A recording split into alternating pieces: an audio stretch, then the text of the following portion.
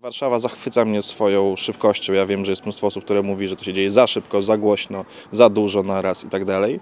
Ale to jest niesamowite miejsce, które gwarantuje taki rodzaj bliskości, nie tylko tej fizycznej, ale do pomysłów, idei, organizacji, kultury, którego chyba żadne inne miasto e, nie daje, nie daje takiego poczucia.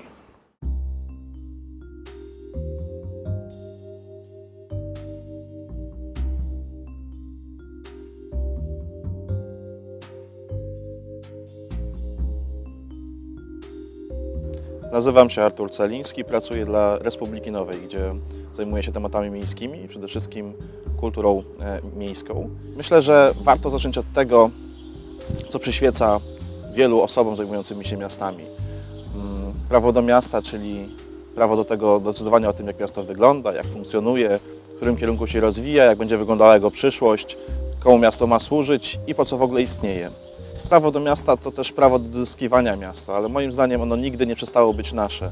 Jest taka fantastyczna scena e, z filmu Przygoda na Mariensztacie, kręcona tutaj niedaleko, kiedy młoda kobieta przyjeżdża do Warszawy ze Śląska, przyjeżdża na wycieczkę, spotyka swoje koleżanki, które akurat budują nowy dom. Zachodzi między nimi rozmowa, na której pada takie zdanie, kiedy te murarki pytają swojej nowej koleżanki, jak ci się podoba nasza Warszawa. Ona zdumiona pyta, jak to wasza? Odpowiadają, budujemy to w Warszawie, mieszkamy tutaj, pracujemy dla niej, to jest nasza.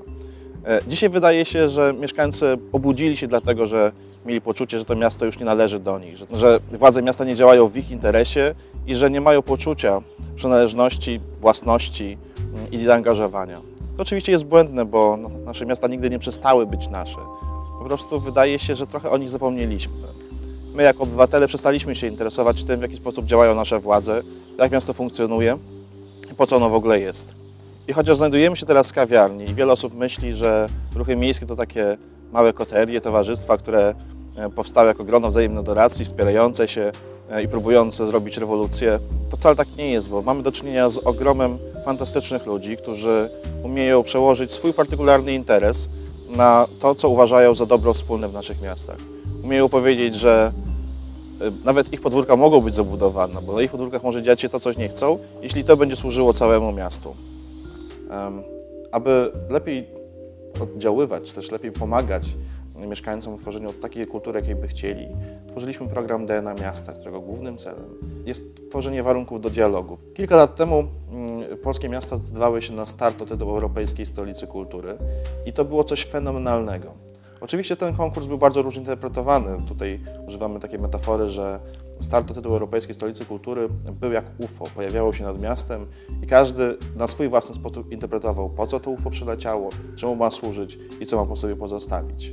Wygrał Wrocław, ale obserwacje tego, w jaki sposób miasta uczestniczyły w tym konkursie, w jaki sposób się przygotowywały i zwłaszcza w jaki sposób włączały mieszkańców w te przygotowania, pokazał nam, że rzeczywiście mamy trochę problemów, mm, jeśli chodzi o kulturę i mm, powinniśmy tutaj coś zrobić. Tworząc program DNA Miasta postawiliśmy właśnie na kontakt, na dialog mieszkańców z władzami miasta, ale także mieszkańców pomiędzy sobą.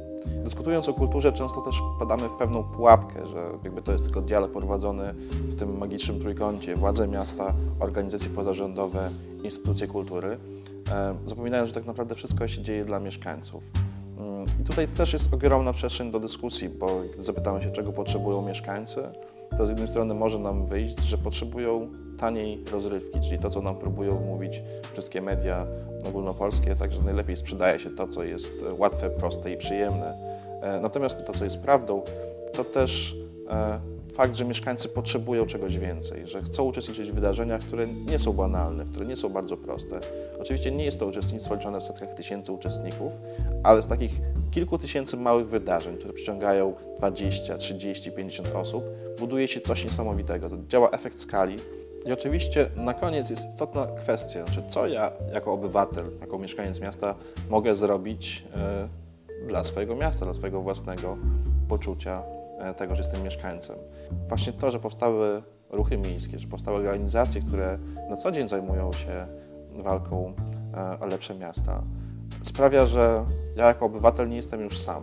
Mogę pójść, prosić o pomoc, mogę się przyłączyć, mogę pójść na manifestację, mogę pójść na dyskusję, e, a jeśli nie mam czasu, bo od 8 do 18 pracuję, wracam do domu i myślę tylko o tym, żeby sobie spokojnie odpocząć. Mogę na przykład poświęcić swoje pieniądze, mogę wyrazić swoje poparcie w internecie. Chodzi o to, żebyśmy my jako mieszkańcy zyskiwali coraz większą świadomość tego, co się dzieje z naszym miastem, w którym kierunku to miasto się rozwija i gdzie idą nasze pieniądze.